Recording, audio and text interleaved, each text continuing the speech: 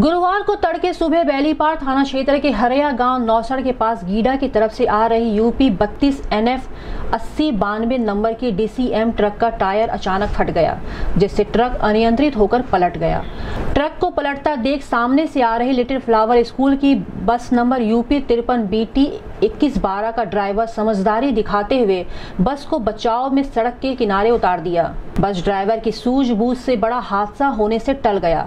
अफरा तफरी में ड्राइवर और बस कंडक्टर समेत एक बच्चे को मामूली चोट आई, जिन्हें प्राथमिक उपचार के बाद अभिभावकों को सौंप दिया गया है। मिली जानकारी के अनुसार बस में लगभग 35 स्कूली बच्चे और स्कूल टीचर सवार थे। मौके पर पहुँचे बैलीपार थाना प्रभारी द्वारा स्कूल बस पर लिखे नंबर के माध्यम से विद्यालय प्रबंधक को घटना की जानकारी दी गई। घटना के संबंध में प्रत्यक्षदर्शियों ने कहा।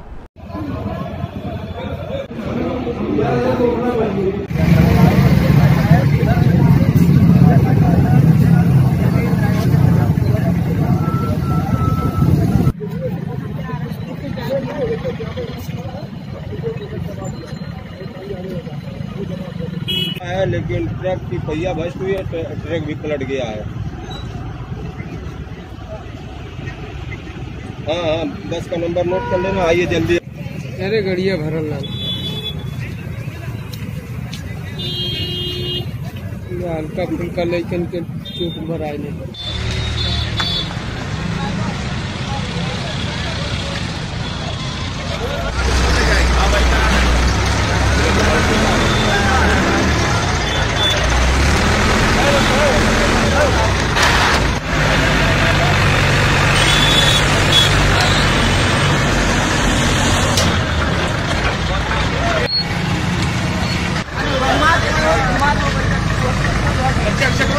भर आए नहीं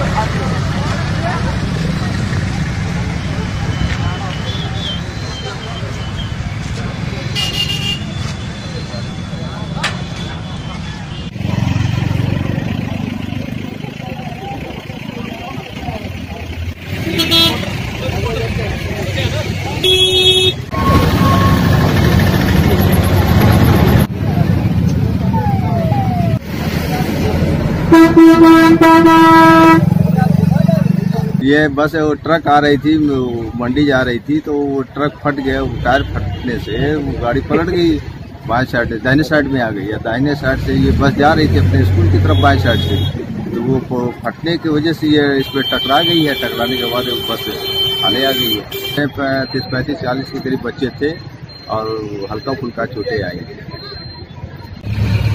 गाड़ी बाएँ से मतलब गाड़ी तो उसका टायर फट गया। राइट साइड वाली जो गाड़ी जा रही थी फ्लावर स्कूल की उस पर टच हो गई। लगभग पैंतीस चालीस सौ के पैंतीस चालीस पूरा भरी हुई थी। बच्चे ठीक है। नॉर्मल है एक दो बच्चों का है। तो जिसम का पहिया का टायर लगा उसी की वजह से वहाँ से निकलते वक्त बस आ गया अचानक में और उससे टकरा गया। बस ड्राइवर बहुत ध्यान से उसको बचा दिया। लगभग गाड़ी भरी हुई थी।